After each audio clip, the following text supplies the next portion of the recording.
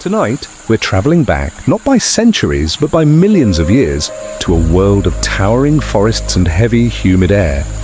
Here, ancient Hymenaea trees stand like quiet giants. Their bark is wounded by storms, insects, and time. And from those scars, something extraordinary begins to flow. Resin. Sticky, golden, protective. The tree's own way of sealing life in place. Drop by drop, that resin falls, sometimes trapping leaves, soil, even tiny fragments of a vanished world, before being buried beneath layers of sediment. And as the ages pass, pressure and heat do their slow, patient work. Molecules reorganize, the resin hardens, it fossilizes, becoming amber, a time capsule formed by the Earth itself.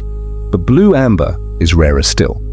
Its secret lies not only in the resin, but in the conditions around it, where trace organic compounds and the chemistry of burial shape the way it interacts with light. Under bright white light or sunlight, the finest pieces can show a cool blue sheen.